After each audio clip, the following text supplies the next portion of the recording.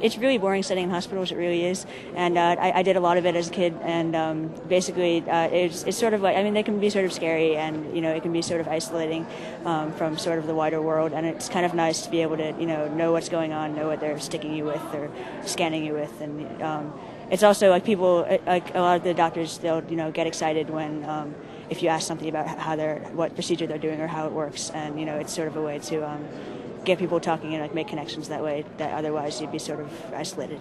So I studied like basically speaking of Brooklyn, if you think about uh, uh, like street grids and you think about uh, where they intersect, it forms a grid uh, of dots basically.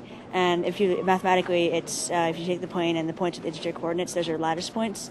And I, I studied polygons that have uh, their vertices on those lattice points, and I showed that if you have a nine-sided one of those, then you can't have exactly eight or nine of those lattice points in the interior. So um, basically think of uh, street grids.